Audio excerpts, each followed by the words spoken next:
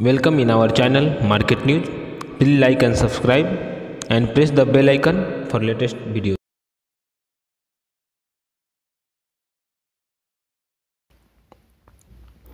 Hello दोस्तों, आप सभी का स्वागत है एक नए वीडियो में, जिसमें आज बात करेंगे सुमी तोमो केमिकल्स की दोस्तों, जैसा कि इसका चार्ट आप देख रहे होंगे, वहाँ पे आपको नज़र आएगा कि कल के दिन में इसका क्लोजिंग 397.95 था इस पर भी चर्चा करेंगे इसका प्राइस पैटर्न क्या है, आगे क्या टारगेट हो सकते हैं।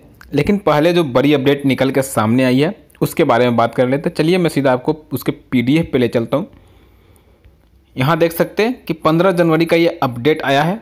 यहाँ पे कंपनी ने इन्फॉर्म किया है कि थर्ड फेबररी जो कि थर्सडे है 2022 को, वो स्टैंड अलोन और consolidated audit unaudited financial result को सबमिट करने वाली है।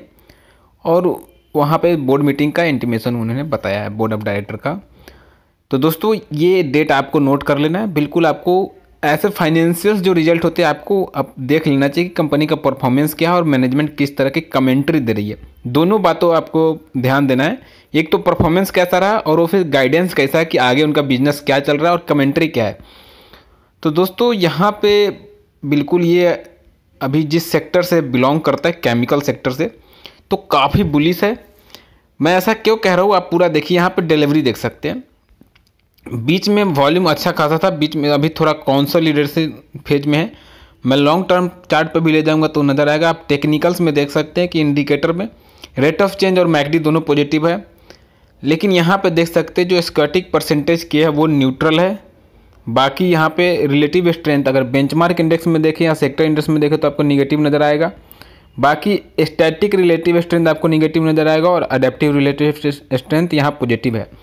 बाकी अगर आप लेवल्स की बात करें तो एक्सपोनेंशियल मूविंग एवरेज देख सकते हैं कि एक्सपोनेंशियल मूविंग एवरेज में आपको सारे एक्सपोनेंशियल मूविंग एवरेज के ऊपर सस्टेन करता हुआ क्लोजिंग भी दिया है।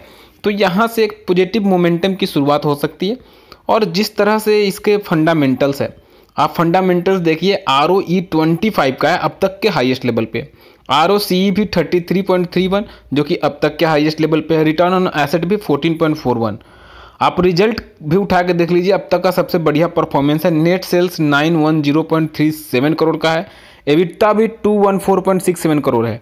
आप यहाँ पे प्रॉफिट बिफोर टैक्स भी देखेंगे। प्रॉफिट बिफोर टैक्स देख सकते हैं। यहाँ पे two zero nine point five nine है। और प्रॉफिट आफ्टर टैक्स भी देखेंगे तो आपको नज़र आएगा one five four point two two तो यहाँ से दोस्तों आप देखेंगे काफ़ी बढ़िया है। यहाँ देखिए ई पी एस भी इसका सेवन पॉइंट थ्री एट है। इंडस्ट्री पी ट्वेंटी नाइन है। तो यहाँ पे अगर देखें इसका डिविडेंड यील्ड भी ज़ीरो पॉइंट टू ज़ीरो है और नंबर ऑफ़ शेयर्स वो forty nine point nine one crore है फेस वैल्यू दस के हिसाब से। तो यहाँ पे अगर फाइनेंशियल्स में भी चेक करेंगे तो आपको काफ़ी बढ़िया नज़र आएगा। देख सकते कैश फ्रॉम ऑपरेशन पिछले दो तीन सालों में ही four twenty five crore. Cash and cash you equivalent two hundred thirteen crore यानी यहाँ पे एकदम रोबस्ट परफॉर्मेंस करके दिखाया है कंपनी ने। प्रॉफिट लॉस में भी देखे नेट सेल्स लगातार बढ़ता हुआ two seven eight seven crore पे है। Total income two eight one zero crore पे है। उसके अलावा आप देखेंगे प्रॉफिट आफ्टर टैक्स में लगातार बढ़ोतरी नज़र आया है three sixty eight point two one crore consolidated net profit में भी आपको लगातार बढ़ोतरी देखने को मिला है three sixty eight point two one crore पे है। बैलेंस शीट काफ़ी मज़बूत नज़र आ रहा है। S H S fund one seven six zero point eight four crore पे है। करेंट जो एसेट्स है, वो भी लगातार बढ़ता हुआ two five seven two crore पे है। Total asset three zero one zero point two seven crore पे तो दोस्तों, यहाँ पर काफ़ी तेज़ी आने की उम्मीद है।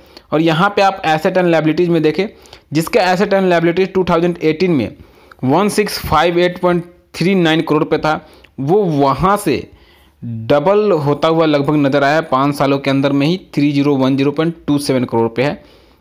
तो काफ़ी बढ़िया परफॉर्मेंस करके दिखाया कंपनी ने। आप शेयर होल्डिंग पैटर्न भी देखिए। प्रमोटर का होल्डिंग सेवेंटी फाइव है।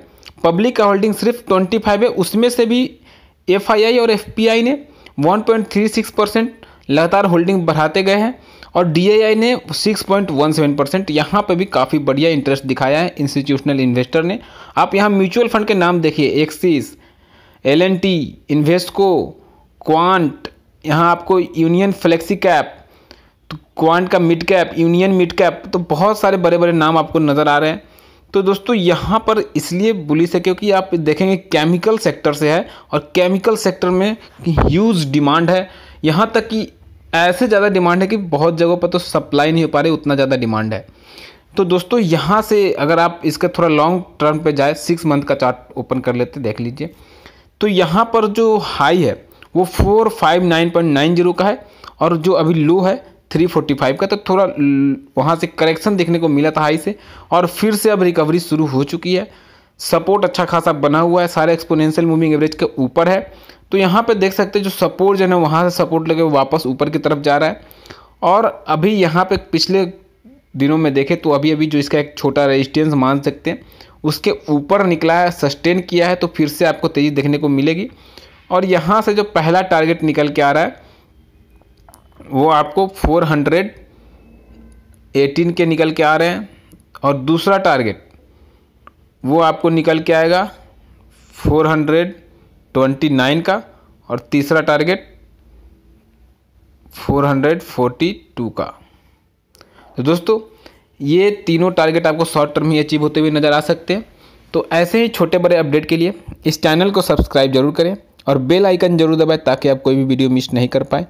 और अगर आप शॉर्ट टर्म बेसिस पर प्रॉफिट बनाना चाहते हैं तो आप मेरे फ्री टेलीग्राम चैनल से जुड़ सकते हैं, जहाँ पर मैं short term positional call share करता हूँ मार्केट मूवमेंट भी प्रिडिक्ट करता हूँ और ऐसे शेयर्स को शेयर करता हूँ, जिसमें अभी मूवमेंट आया नहीं है, आ सकता है कुछ दिनों में, क्योंकि न्यूज़ में शेयर तब आते हैं जब उसमें मूवमेंट आ जाता है और रिटेलर्स जनरली उसको बाई करके वहाँ ट्रैप हो जाते हैं।